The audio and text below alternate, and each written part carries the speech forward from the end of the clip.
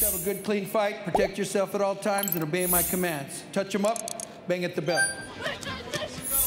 Good combination. I think Martinez may have been hurt a little bit, and I think she's definitely hurt now. Yeah. Staggered, and she's down. A solid combination sending Allison Martinez to the canvas.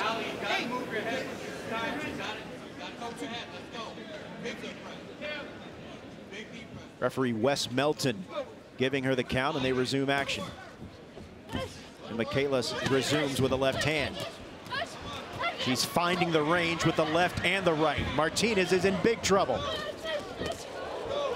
Her corner is pleading for her to move her head. It's moving all right, but Mikaela's punches are the one moving it. Beautiful boxing by Mikaela. Beautiful combinations. Everything off that strong jab. You saw that digging left hand into Martinez's body. Martinez is hurt, but is survive, able to survive the first round. She said they just clicked right away. This is her first fight with him in the corner, but she also got Manny Robles in there at the cut. I mean, she's in such good hands. Allison Martinez is in big trouble, but it looks like she's going to survive round two. I think.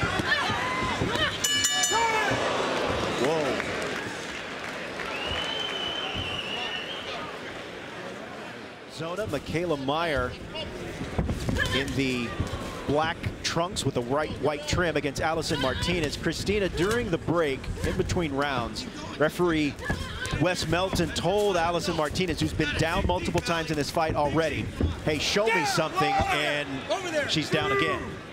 He said, show me something or I'm going to stop this. And she's down again for the third, fourth time in this fight? Yeah, we, we cut to break at the end of that last round, and she didn't know where she was. She kind of walked to the neutral corner yes, and made her she way had to, to the be helped.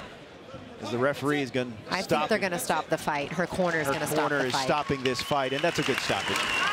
Uh, your winner, by way of technical knockout, still undefeated, Mikaela Mayer. Excitement. Um, you know, from the opening bell, she came throwing a ton of punches. She used her size and her reach, working off the jab to her advantage. She pretty much landed almost every punch that she threw.